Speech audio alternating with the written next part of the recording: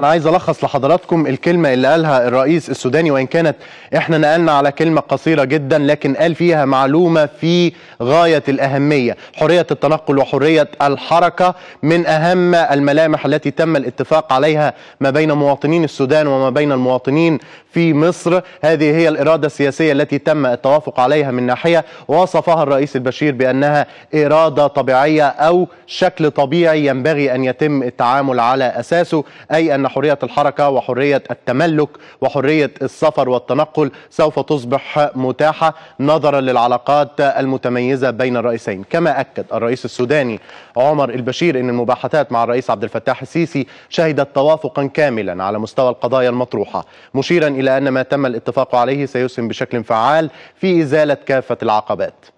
قال الرئيس السوداني خلال البيان الذي ألقاه بقصر الأبة لوسائل الإعلام إن الإعلام لديه دور كبير يؤثر في عملية البناء والهدم موضحا أن ما تم الاتفاق عليه مع السيسي لن تؤثر عليه أجهزة الإعلام أو أي عواصف تحمل السوء